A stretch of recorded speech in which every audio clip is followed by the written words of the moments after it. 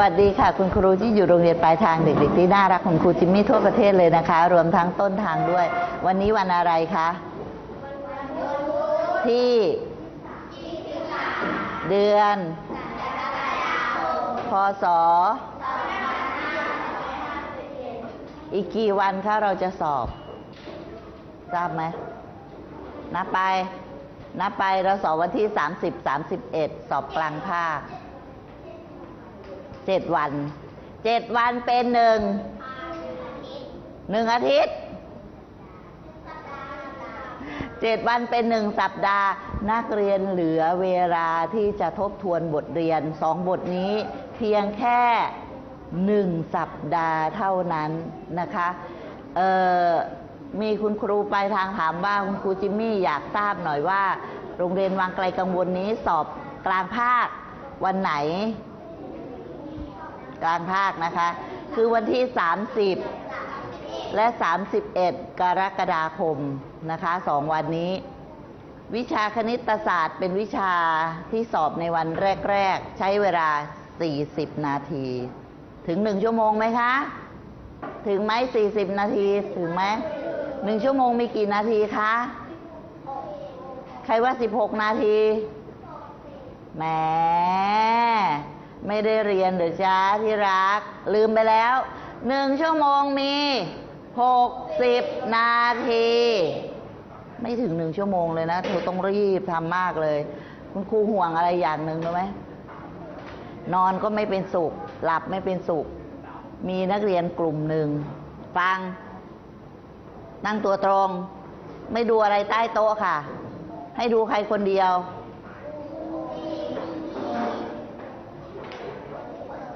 ออให้ดูครูจิมมี่ คนสวยอย่างเดียว ฟัง มีนักเรียนบางคนอ่านหนังสือไม่ออก แล้วมันแล้วในข้อสอบนั้นมันก็จะมีโจทย์ปัญหา คุณครูยังไม่ได้ตกลงกับคุณครูวัฒนาเลยว่าจะเอายังไงดีว่าให้อ่านให้ฟังไหม เทอมนี้จะขอจอกขอความกรุณาว่า คุณครูวัฒนาขออ่านให้ฟังเถอะนะ เนื่องจากสงสารเด็กๆ เพราะว่าบางคนอ่านไม่ออกจริง ๆ แต่อ่านแค่สองรอบก็น่าจะพอแล้ว ไม่ใช่อ่านหมดแล้วหมดทุกแผ่นเลยนะคะ หมายถึงอ่านแต่โจทย์ปัญหาที่การแสดงวิธีทำมีอยู่สองข้อออกไปแล้วเรียบร้อย และคุณครูก็คิดว่าข้อสอบนี้อาจจะผ่านหูผ่านตานักเรียนบ้างพอสมควร คุณครูเคยบอกไหมคะว่า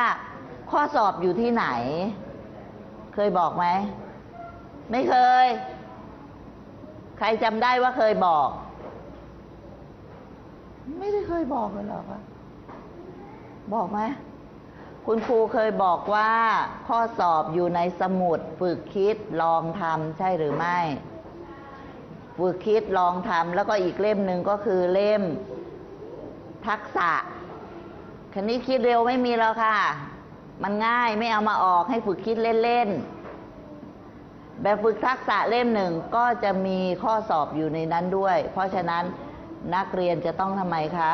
ไปทบทวนบทเรียนให้มากๆนะคะ เอาละถ้ามีข้อสงสัยตรงไหน นักเรียนก็ต้องยกมือถามคุณครูเลย เข้าใจไหมคะ อย่าปล่อยให้ความสงสัยเก็บกับที่ตัวเองจนถึงพอถึงวันสอบเครียดอ้วก ว่ากลางสนามสอบ ไม่ใช่นะคะ การสอบเราต้องเตรียมตัวมาอย่างดี เอาละตัดไปที่สไลด์เลยค่ะ เพื่อไม่ให้เสียเวลา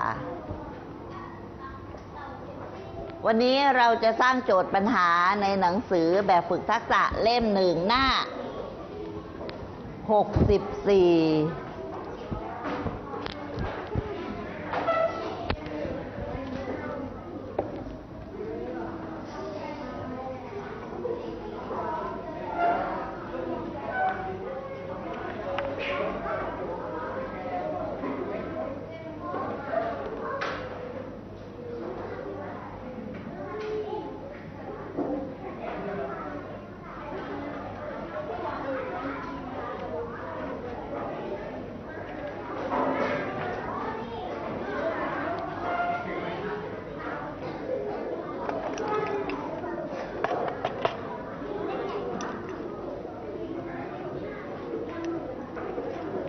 ดหรือยังคะ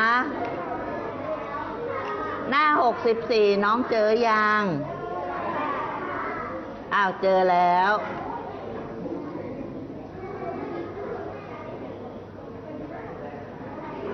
บางคนบอกยังไม่เจอ ใครยังไม่เจอบอกเพื่อนด้วย ใครเจอแล้วยกมือ ใครยังไม่เจอยกมือ รู้สึกมีคนคุยกันจังตรงนั้นน่ะ ตาโต คุยอะไรกันคะ มีเรื่องคุยมากมายเลยเหรอ อ้าวหยิบดินสอขึ้นมา ยางลบ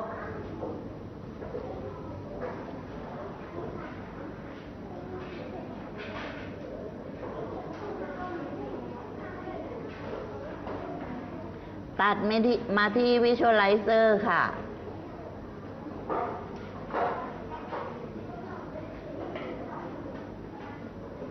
หนังสือแบบฝึกทักษะ เล่มหนึ่งชั้นประถมศึกษา หนังสือคณิตศาสตร์เล่มหนึ่งชั้นประถมศึกษาปีที่สามนะคะฝึกทักษะ อะ หน้าหกสิบสี่เปิดแล้วนะการสร้างโจทย์ปัญหา ปัญหามากเหลือเกิน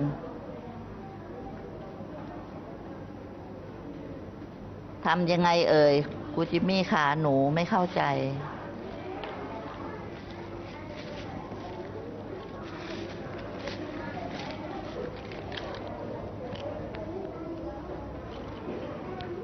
ของห้องสามเอาไปให้ห้องสามค่ะลูก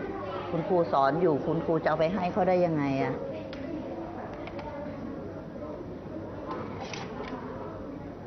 อ้าว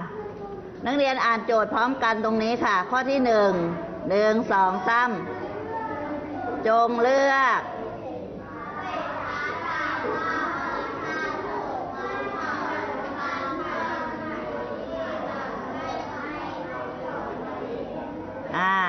จงเลือกสินค้า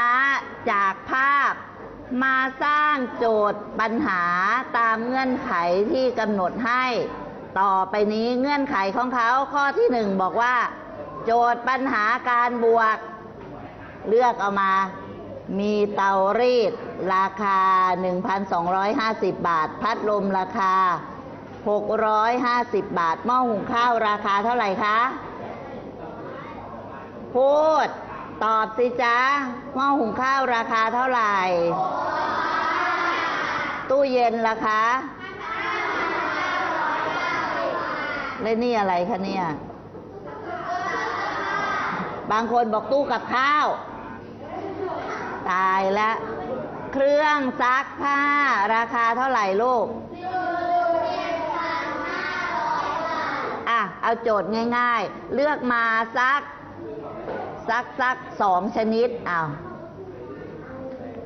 จะว่ายังไงดี อ้าว สมมติว่า คุณครูเนาะครูจิมมี่ ซื้อเตารีด ราคา 1,250 บาท ซื้อพัดลมราคา 650 บาท ครูจิมมี่เสียเงินซื้อสินค้าไปเท่าไหร่หรือจ่ายค่า พัดลมและเตารีด ไปกี่บาท หรือไปเท่าไหร่ก็ได้ อ้าว นักเรียนจะว่ายังไงดี ใครจะลอง ใครจะลอง ใครจะลอง ใครจะลอง เอาใครดี อะ คุณน้องคนสวยเอาลองแต่งมาสักโจทย์สิ เอาน้องคนนี้แหละ อะน้องไม้น่าดูดูในนี้น้องไม้จะเอาอะไรดี แม่ก็ได้ พ่อก็ได้ น้องไม้ก็ได้ พี่ป้าน้าอาได้ทั้งนั้นแหละ หรือพ่อค้าก็ได้ พ่อค้าขายอะไรไปก็ได้เอาเอาเร็วหนึ่งสองสามพ่อค้าขาเออยหม้อหุงข้าว ราคาหกร้อยบาท อ่า ขายอะไรอีกคะเอาสักสองชิ้น ขาย ขายตู้เย็นราคาห้าพันเก้าร้อยเก้าสิบบาทค่ะ อ่าพพ่อค้าพ่อ รวมพ่อค้ารวมขายพ่อสินค้าค้าทั้งหมดขายได้เงิน สิค้าทั้งหมดได้เงินกี่กี่บาท เออได้ได้อ้าวเอาของน้องไม้ก็ได้ เอาเริ่มเลย เอาโจทย์ของน้องไม้ก็ได้หม้อหุงข้าวใช่ไหมคะน้องไม้อ้าวพ่อค้าเอาเขียนลงไปเอาโจทย์ของน้องไม้นะ พ่อค้า ขายหม้อหุงข้าว ไฟฟ้าดีกว่า เพราะว่ามันใช้ด้วยไฟฟ้า ราคาหกร้อยบาท ขายอะไรอีกคะน้องไม้ตู้เย็นใช่ปะ ขาย ตู้เย็น นักเรียนจะแต่งแต่งโจทย์นอกเหนือจากตรงนี้ก็ได้นะคะ ไม่เป็นไร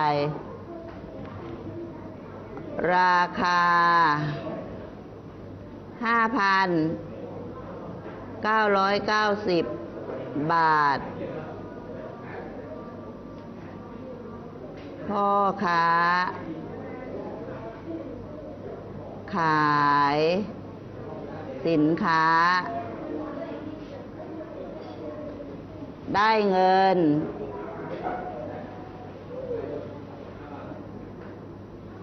กี่บาท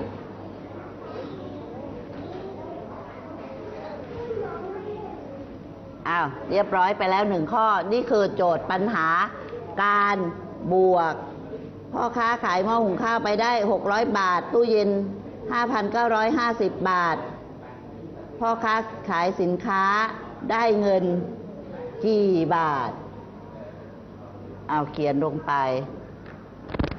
ที่จริงจะบอกว่าสินค้าขายสินค้าได้เงินทั้งหมดก็ได้นะคะ ได้เงินทั้งหมดกี่บาทก็ได้